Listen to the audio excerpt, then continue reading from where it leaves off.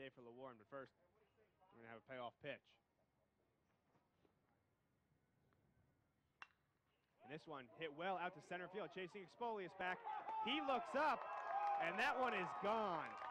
Maybe one pitch just too long for Bobby LeWarn.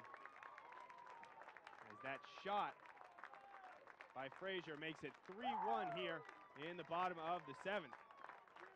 That is Fraser's fifth of the year, Richmond's second of the game. There's that run the Colonials got back in the top half of the inning.